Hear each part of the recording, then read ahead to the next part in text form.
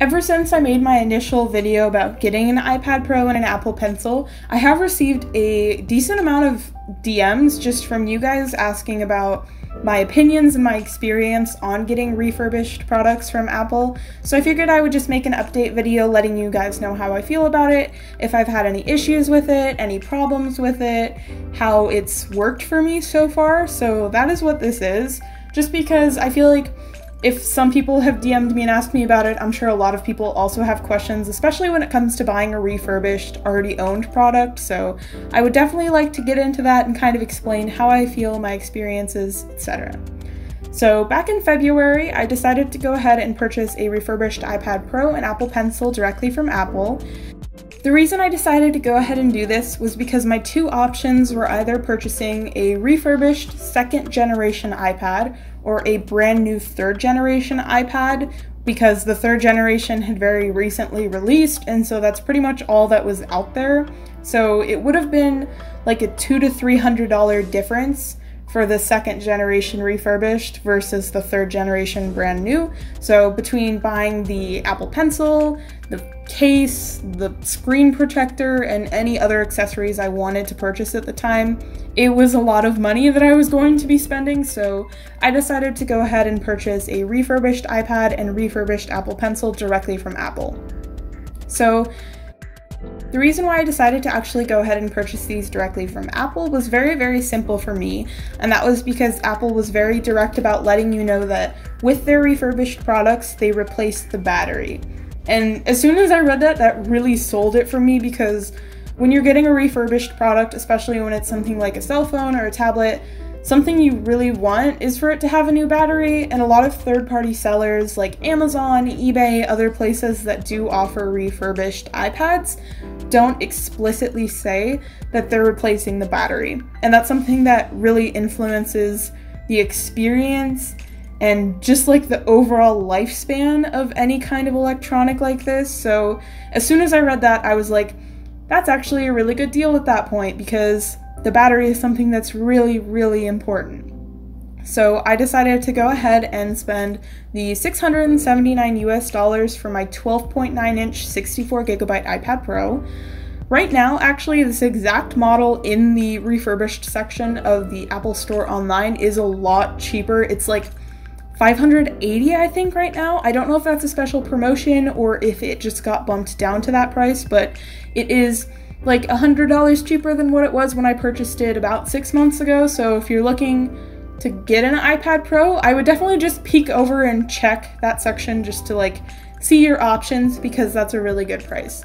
I know the third generation ones are newer, so they've improved them, I guess. I mean, the only really important thing about the third generation one that really stood out to me was that the Apple Pencil charges by being magnetically attached to the side of the iPad versus like USB plugged into the iPad. But, anyways, I don't really care about the third generation. I have a second generation. Moving on, I also ended up spending $85 on the Apple Pencil. My Apple Pencil is also refurbished versus I think it would have been like a hundred dollars for a brand new one. So it was saving me some money and I was already purchasing the refurbished iPad Pro. So I was like just gonna get the refurbished Apple Pencil. I don't remember if it was 100 or 120 for a brand new one, but I ended up getting the refurbished one because I was already there. So I want to very clearly say this because like if someone had given this to me and the box that they came in did not say refurbished, I never would have known, even up to this point, I never would have had any idea that these products were pre owned and refurbished products. I haven't had a single issue with the battery life of either because they're brand new batteries. There weren't any at all physical imperfections on either the iPad Pro or the Pencil. They came in boxes and like packaged as if they were brand new. The only difference is that the boxes they came in explicitly said refurbished on the front of them, but like the pen came with extra nibs, extra parts that the normal ones come in with when they're brand new.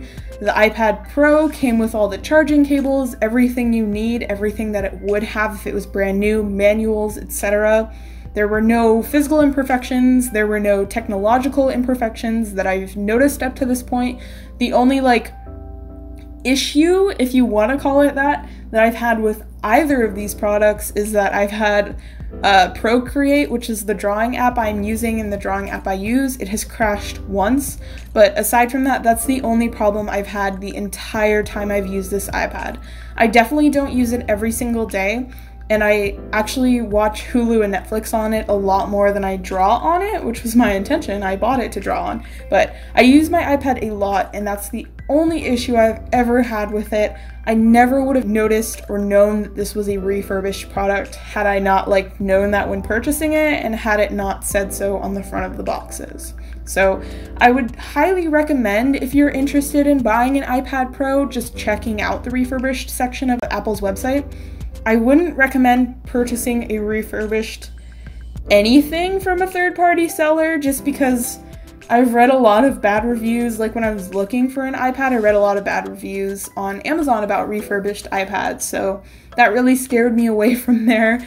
I didn't even know that Apple did refurbished iPads until like a couple weeks or so, a couple months before purchasing my own. So I will leave direct links down below to the exact products I personally purchased. By no means do you have to get those ones, but that is just a tidbit of how I feel about my iPad. I love it a lot. If anything happened to it, I would definitely be purchasing a refurbished one again. It doesn't look like they have any third generation refurbished ones currently. I don't know if they're going to anytime soon or what. I, I don't really know. I just know they have the second generations refurbished up. But I love my iPad. I'm very grateful that I ended up going ahead and getting a refurbished one because it did save me a lot of money. So, those are my opinions. Those are my thoughts on getting a refurbished Apple product, even though I don't even really like Apple. Um, yeah. so, if you guys have any questions, please leave them down below. I'll try and answer them to the best of my ability. I hope you guys enjoyed watching this video, and I will see you in the next one.